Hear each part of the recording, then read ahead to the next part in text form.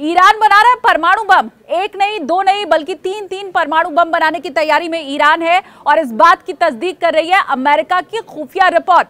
America की तरफ़ से ये बात सामने आई है कि इतने बड़े यूरेनियम का जखीरा ईरान की तरफ़ से इकट्ठा किया गया है, जिससे तीन तीन परमाणु बम बनाए जा सकते हैं। आपकी जानकारी के लिए बना दें कि ईरान अभी फ़िलहाल परमाणु संपन्न देशों की लिस्ट में शामिल नहीं है।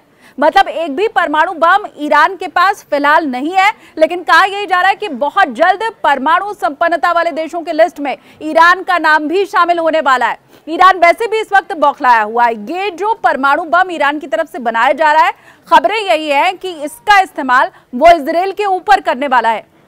हाल के दिनों में हमने देखा किस तरह से इसराइल ने ईरान के दूतावास के ऊपर हमला किया था, जिसमें जो ईरान के अधिकारी थे, उनकी भी मौत हुई थी, कुछ आम नागरिकों की भी मौत हुई थी। और उस वक्त ही ईरान की तरफ़ से इसराइल को ये चेताया गया था कि जो गलती तुमने की है, जो हिमाकत तुमने की है, उसका खामियाजा भी तुम्हें भुगतना पड़ेगा। और अब वैसी ही तस्वीर फ़िलहाल सामने आती हुई दिखाई दे रही है, क्योंकि अमेरिका के खुफिया रिपोर्ट और एक अखबार की तरफ़ से भी यह दावा किया गया है। बाकायदा इस रिपोर्ट को पब्लिश किया गया है अखबार में, जिसमें यह कहा गया है कि यह बहुत बड़ा खतरा पूरे विश्व के लिए हो सकता है।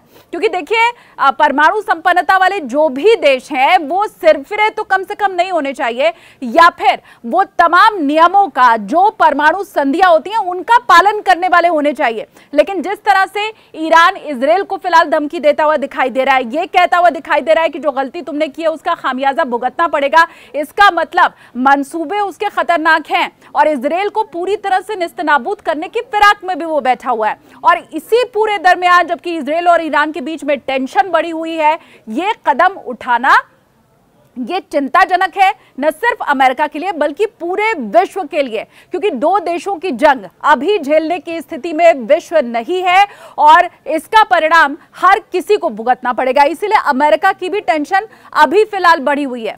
देखिए, खबरें ऐसी आई थी जब इसराइल का हमला हुआ था, ईरान के दूतावास के ऊपर, कि ईरान हमला करेगा ज़रूर इसराइल के ऊपर, लेकिन डायरेक्ट हमला नहीं करेगा। उस समय ऐसी खबरें आ रही थी कि शायद किसी ग्रुप के ज़रिए जिसे समर्थन ईरान का हासिल हो, उसके ज़रिए इसराइल पर वो हमला करवा सकता है। इसके पीछे की दो वजह थी। पहला, सीधा युद्ध में ईरान पड़ना नहीं चाहता था। भाई, अगर डायरेक्ट अटैक वो कर देगा इसराइल के ऊपर तो फिर उसकी भी जान पर बनाएगी और दूसरी बात यह थी कि ईरान कॉन्फिडेंट नहीं था कि मैं इसराइल पर अगर हमला करूँगा तो मैं जीत ही जाऊँगा या उधर से जो जवाब आएगा, उसका मैं परिणाम भुगतने के लिए या पलटवार करने के लिए तैयार हूँ। वो कॉन्फिडेंट नहीं था। लेकिन अब, जबकि परमाणु बम बनाने की सुबगाहट शुरू हो चुकी है, अब, जबकि अमेरिका की खुफिया रिपोर्ट्स ये दावा कर रही हैं कि ईरान परमाणु बम बनाने की दिशा में आगे बढ़ चुका है तो यह हम सब के लिए घातक है।